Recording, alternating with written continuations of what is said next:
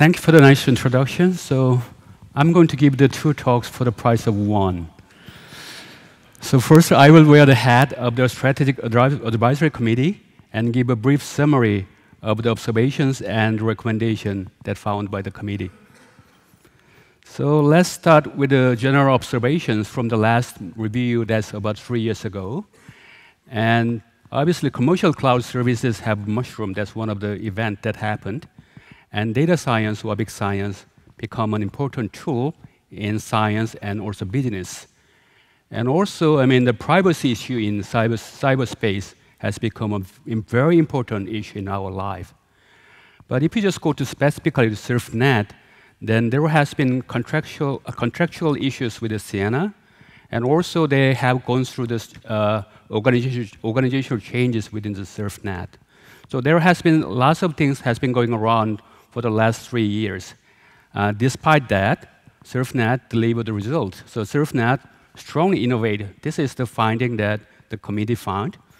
So, I mean, specifically, they have been successfully carried out various initiatives.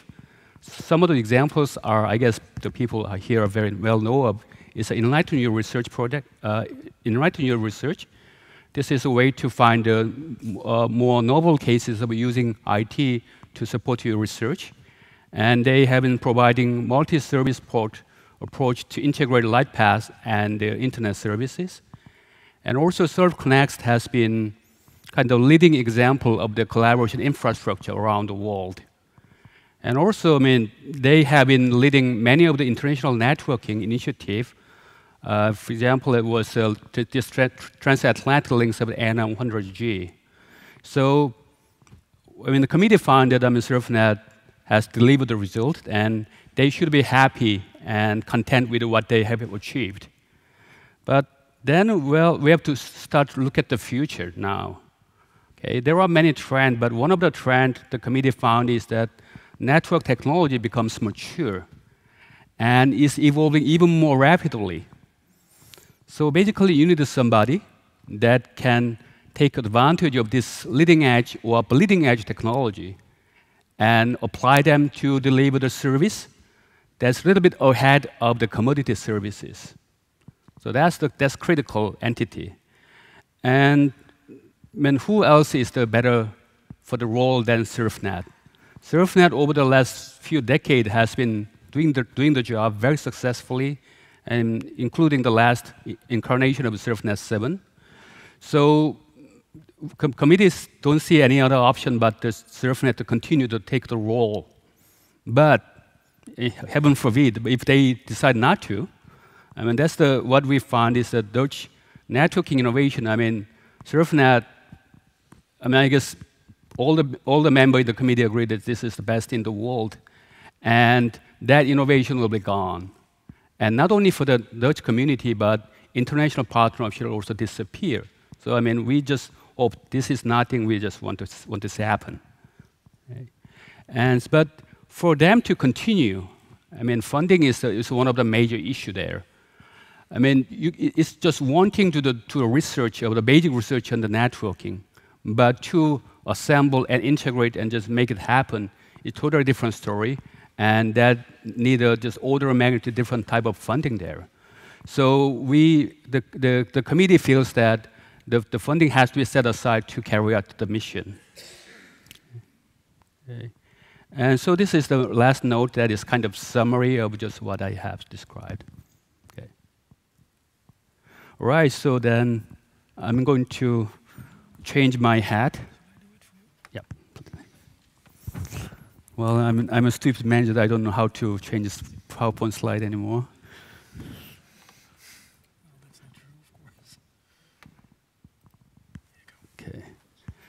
So I'm just now wearing a different hat as a Director General of the National Institute of Supercomputing and Networking. So I want to give a kind of overview of e-infrastructure activities in Korea now. Okay. So let me start with, with an incident in Korea. This is a cover of a Korean newspaper. And you shouldn't focus on the pretty lady there, but the headline. The headline say, Korea is a supercom blind. What happened is that there was no system from Korea that made top 500 list at that time. And this was pretty depressing because we used to have about 10 systems in top 500 list. So we all know that supercomputing is an important tool to enhance the competitiveness of country. So obviously Korea is not doing a good job. So something has to be done. So that's the motivation for the Supercomputing Act. This is our, one of our, our attempt to do it. So, so basically the, the discussion for the necessary need for such an act goes back to the 90s. But in early 2000, the issue was raised in various committees of the National Assembly of Korea. And uh, we got a little momentum when the bill was proposed in the regular session of the National Assembly of Korea in 2009. And it has to went through the committees and subcommittees and hearings and so on. And it was approved in the general meeting, general session in uh, April of 11, and it was enacted in the June of 2011. So, I mean, I was leading the whole process, and it was pretty unique experience. I mean, how many time, how many chances do you have to have a law, to make a law in your life? It was really interesting to working with politicians and high-ranking officials, and I learned a lot. And uh, there are many interesting stories. And also, you cannot argue the success. I mean, I'm not sure about the politicians in in Netherlands, but this was the only law that the committee passed in two-year period of time. And uh, this period of two year is supposed is considered pretty fast in Korean standard. So, so, so what is the bill about? The official title is the utilization and promotion of national supercomputing. That's the title. And the goal is we, we all agree on to enhance people's quality of life and economic competitiveness by the use of the supercomputing. Okay. So how to achieve the goal? the key action is basically try to establish and execute the comprehensive plan for the national supercomputing ecosystem. So there are two type of plans. One is a master plan that's every five years, and implementation plan for the every year. So to have the weight on this plan, so this, uh, we have set up National Supercomputing Committee, so the chairman of the committee is the secretary of the Ministry of Science, ICT, and Future Planning. So we have a, this ministry have a long name. So in Korea, we either call MSIP or Minister of Future, like a Harry Potter movie. And the vice minister of the all, uh, uh, vice minister of the nine other ministries is also a member, and about the same number of experts so, so about this, this 20 people committee is the one that's making the, all the final decision about the whole supercomputing ecosystem, including networks there. And also one other organization we have set up is a National Supercomputing Center. So they need some entity to support the planning and execution of the, of the plan. So, so what is the plan? So, I mean, the law was passed in 2011, so we are busy in setting up the pl master plan. So this, this humble-looking document is a Kerbal national plan. So this is five years from 2013 to 17. And you see the name of the, all the ministries involved. So basically, we have three strategies or three areas. So first one is the, to expand adoption and build the efficient infrastructure and R&D on key technology. So these are the three areas we are going to address and to become so-called top seven nation by 2017. So if you expand a little further of the, all these strategies, so each strategy is uh, expanded into 10 programs. So for the case of the expanding adoption, we have four programs. The first one is to enhance the enhanced adoption, basically in national, national R&D programs. Uh, second one is to enhance the enhanced adoption in private sector. Third one is public sector. And the last one is that we realize that people's perception, general public's perception of computing is very important to have a, have a major impact. So that's, that's classified as one separate programs. So regarding the infrastructure, basically there are three. First one is the let's have national scale resource planning of the computing and networking, and then build shared infrastructure across the nation, and the human resources are trained. I mean, uh, program is one other thing. So for the case of the R&D, the first one is to build a Korean supercomputer system. That's the first one. And second one is to just try to do R&D on key areas. And no ecosystem is complete without local industry. So we have a program that's supporting local industries. So this is a three area and 10 programs. And then next year is the implementation plan. Basically, what is happening is that so this one is for the case of the area of the enhanced adoption, and you see four programs. And that what is written in blue is the is a, is a project that's under the programs. So I wouldn't bother with the details, but basically this is summary. So there are about 48 projects that's carried out for the year of 2013, and there's a modest increase of funding to 40 to 60 million dollars. And but so basically, but what we want to happen is we want to have some jump. And that is what this big scale project, I mean, they are, they are on the plan, and they will start from next year. So the biggest one is so-called Super Korea 2020. We'll have a $200 million budget. And we have a, a national supercomputing shared structure and about the education training programs. I'm going to say a little more about these programs later. So about the, my institute. So basically the mission and the function of my institute is written in the law. So that's a good and bad thing. So basically the mission is to support the whole thing, support the, this government effort of building a Korean ecosystems. And to carry out that we are given uh, several functions. For example, I mean, securing and operating world-class computing resources, one of the functions we have to do. It's written in the law. And also, same for the network. So we have to uh, provide uh, uh, advanced research network too. Also, we have to carry out the R&D and the supercomputing. So these are the missions that we have to given from, from the law. And we had the inauguration ceremony by the end of 2012. And we are very happy that we have many friends around the world, in the US, in the Europe, and Japan and China, that gave us uh, congratulatory messages there. So, I mean, this is, I mean, the, the, how my organization is structured there. So basically, we have three centers and one department. Service center is the one that is providing computing, supercomputing services, nationwide supercomputing services there. And network center is providing na nationwide network services. And we have separate R&D center that carrying out researches, uh, both on computing and networking. And when, then we have a strategy department that is, one role is to work with the government about the setting up the plan and execution, and the other to support the whole organization. That's the, so we have three center and one department. So when I just see the, how, how things are going on at, at SURF, so if you compare, uh, service center is basically SURF-SARA, and network center is a SURFnet. I don't know what R&D center is here, but okay.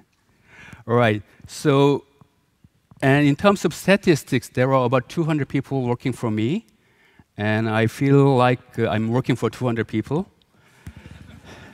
and about half of, them, half of them permanent, and about 80% have their more than master's degrees there.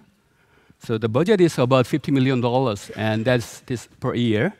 And this is not including the capital for the machine and the new data center we are building.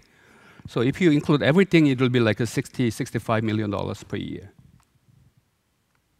So, so then I'll just go on to say just computing and network infrastructure in Korea. So this is what we have now as a kind of shared computing infrastructure. So we have 21 systems from 10 organizations that give the shared of 300, about 400 teraflop capacity there.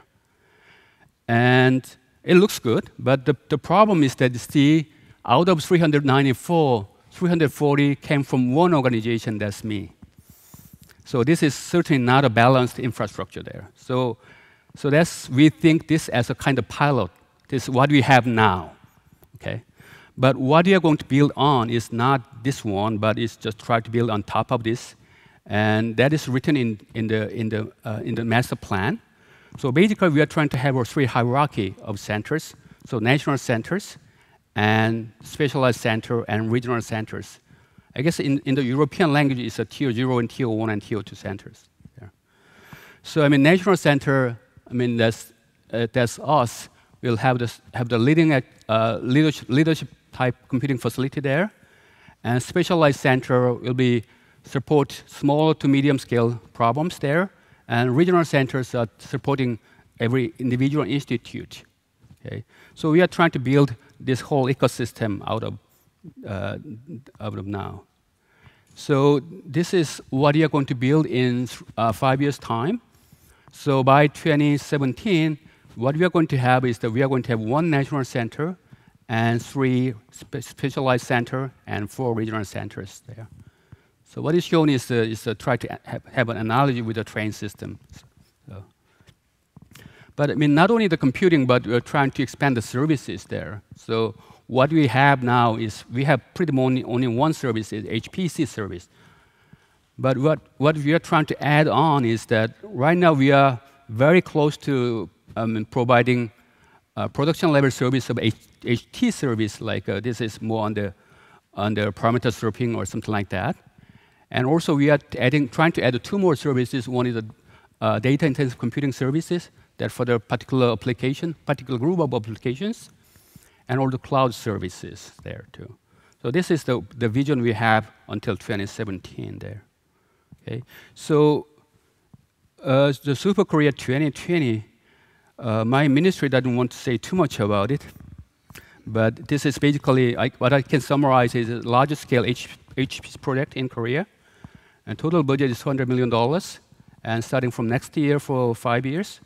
And it has two goals. One is to procure the leadership system. That's, which, that's the system I'm going to operate. And then Korean super, build the Korean supercomputers.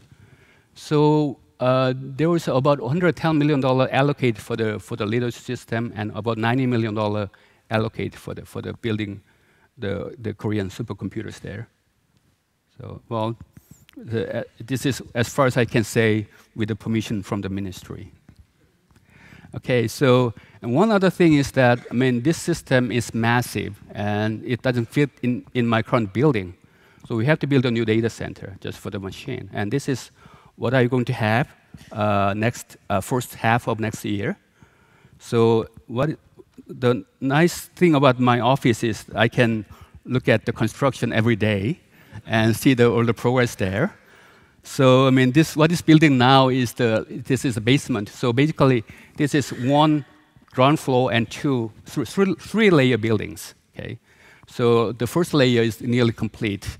Okay, so I, I mean, I can certainly see if there's anything wrong, then I can just just bug the guy who is in charge. So I assure you that it is is is, is under, under progress. Okay, so then, okay, that's probably enough about the network, uh, enough of computing, and let's go to the, to the network. So let me start with the, with the commercial network situation in general. So, I mean, Korea has been catching up in the last few decades, right? So this is one of the example that if you look at fixed line subscription, so I mean, 1960s when I was born, Korea was the poor country, and so I mean, the, this number is about one tenth of world average. Okay, and in 20 years, it reached world average, and in another 20 years, it's three times of the world average now. Okay? And the same similar thing that can be said to to internet. So in 95, so it it's about one fifth of the world average, and in, four years, it becomes the average, reach the average of developed nations, and in two years, it becomes number, number three in the world. So we are just catching up pretty fast now. So I guess we are at this point of trying, we are just remaining in the leading group. So I did a little survey. So these are just, for example, if you compare, let's say, fixed broadband penetration. So Netherlands is number two in the world, and Korea is number five. Uh, both countries are far ahead of the world averages, right? So and, but if you just look at the, like mobile broadband, Korea is number four in the world, and Netherlands is six, number 20. And, but still, both are far above all the averages. But if you look at, I cannot imagine this happen, but if you look at the number of individuals who are using the internet, I couldn't imagine, judging from my son's behavior, I cannot imagine any country using more internet than Korea. but obviously, Netherlands do. So they are number five in the world, and Korea is following with the number 18. Okay? So in some sense, like a score is Netherlands 2, Korea 1. okay, so I admit that you beat us, but not much, not much, not much by much, much margin. So we are trying. Okay, so this is one of the things we are trying. About the fixed line broadband. Broadband is one of the emphasis in Korea. There's a project called BCN, Broadband Convergence Network, and it was completed in 2010. So out of the 50 million population in Korea, about 14 million have more than 50 megabps to their home by fiber. Okay? And now, right now, we are under the, the uh, so-called Giga Internet project. So we'll have 90% of people have more than, more than gigabps at least uh, by 2017. That's only three years away so this is one of it's just just few of the attempts we are just trying to be competitive. And so if you look at the mobile internet, so I guess this I mean I didn't didn't believe the number, but out of 50 million population, 30 million population people have not only cellular phone but LTE or LTE-A. So what is production in now is LTE-A service. It's about 100 mega, 150 megabps, and we are, the only, we are the first country who has nationwide service of LTE. Okay? What is under preparation is a so-called CA LTE. This will be three times more speed. I don't know why you need that much speed, but I mean, understand that Koreans are impatient, so they don't want to wait. And also in terms of mobile spot, that we have giga of giga, uh, nationwide giga, uh, giga Wi-Fi service, and that has more than one gigabps bandwidth there. But I mean, bandwidth is not the this, part of thing you need to have the, the whole ecosystem. So there is a, something called Giga in Korea project that's underway now, and it tries to build the whole ecosystem, not only the network, but all the applications and, and so on. And so the budget is that they actually asked $1 billion, and they was turned away. They, they got only half of that, but that's not a small amount of money, I can imagine and that's for the next eight years. So these are the kind of investment Korea is doing to, uh, to reverse this trend. okay. So, and for, the, for the, my research network, so the name of my research network is KREONET. So in, in one word, it is a national science research network. That's the, that's the description. And it started in service in 1988. And so we are like 25 years has been we are in service, and we are supporting about 200 organizations, and we have 24-hour service there. And currently we have 16 uh, regional centers and four, four, uh, four international POPs. So the backbone is that we have couple of, we have 200 gig backbone between Seoul and my center in Daejeon. And other centers are connected by either 40, 40 gig backbone or uh, branched into the like 10G connections there. So I mean, if you, if you look at the history of how they evolved, is that in 1990s that we have the, this routing service that has been operational, and then in, in early 2000 we just started, we introduced hybrid network service, and then, then we started international links of the 100 gig, uh, 10 gig service to the, to the China and US. And from 2010, we have an upgrade. So in, in 2000, that we have 100 gig backbone, but this is 10, 10 of the 10 gigs links, right? But from 2010 on, that we have 200 gig links, that backbone there. And we have a Korea Ethernet service, was the, the, the, the equipment was upgraded to there. So I mean, this is probably an easy way to look at it. If you just have two users, so this is what you have in 1990s. So they have routing service and that's it. And in 2000, this is what they have. they can have the choice of the layer one, two, three services. And uh, the backbone there at the bottom was the 10 of the 10 gig link there. And in 2010, this is a new service. So basically, the backbone was upgraded to the 100 gig trunk. And then in the layer two, we introduced Carrier Ethernet services. So I guess, I mean, this, I mean, the service architecture is not that different from the Surf, SurfNet 7 architecture here. And so, and I mean, but I mean, infrastructure is infrastructure. I mean, you have to have uh, applications.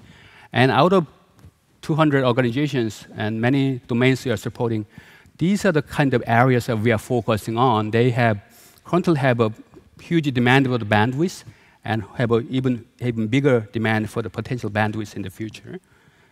So this is just one of the examples that we are supporting. This is one of the community, this radio astronomy. So these are people that have three radio telescope, one in uh, Seoul and one in Jeju Island and one in Ulsan. So this, this uh, believe me, it's just, just as far as you can spread out in, in Korea. Okay? And each one is um, connected to one, one gig links. And then this signal from the three radio, uh, three, three radio telescope has to be correlated in the, and at the central facility uh, that's located at KASI, that's the Korea Astronomy and Space Science Institute there. So basically what you're providing now is that we provide a virtual dedicated network for, the, for the, these people to work on. And of course, the, these people are not working alone. They are they're collaborating internationally. So that is, that's the kind of bandwidth we're, we're supporting it. So this is what, what we are doing supporting now. So, but these people are got more greedier. So they, they say, well, each radio, each radio telescope, they, have four, they are producing four band, and each band is 8 gigabps. So each radio telescope is producing 32 gigabps. And they, you have three of them connected together. So we need a bandwidth of 96 gigabps. And they say, can we do anything about that one? So basically, what we have now, this is what we are, we are experimenting in. We have a link between Seoul and Daejeon. We have dark fiber link that's under our control. So, so basically, we are, we are trying to experiment to support this humongous traffic experiment with, the, with, the, with the, our dark fiber. So hopefully, if it is successful in our next upgrade, it will be just, just be part of our regular services there. So in terms of the international, international dimension, uh, GLORIAD is the one that got us one step ahead. So this was the currently consortium of about 15 countries, including Netherlands. And uh, the idea is very simple, just con connect the world by ring topology, but each country is responsible for their own segment. Okay? So Korea is responsible for the uh, link from the Hong Kong to Korea to the, to the States. And we have two separate links that one goes to uh, post, uh, Pacific Northwest Gigapop in Seattle, and the other links to, to Starlight facility in Chicago. So this is uh, what we have. So we have the, the KL lights so have a four entry point in some sense. And so it can go to Hong Kong or Daejeon in my institute, or Seattle or Chicago there. It's connected to the, to the, the other side of the world. And uh, this, uh, I mean, I mean, this all the connection is necessary for the collaboration. So there are several collaboration that's going on between partners in, in Europe and, and the US in, among the Asian partners. And we are the one that's supporting this, this kind of collaboration. These are the infrastructure we are supporting this kind of collaborations. So we have to also have to think about the, what, what next for the, our architecture. So, I mean, the timing for the, our next architecture will be like 2016 time frame. So, mean, we have a tendency, I mean, we are just taking a close look at software-defined network, because that seems to be such a promising technology. But I, I think it will be take, I mean, there has to be several things have to sort it out before it becomes a part of the execution plan. So that's so this is these are the kind of what we are working on to stay as competitive as Netherlands. Okay, thank you.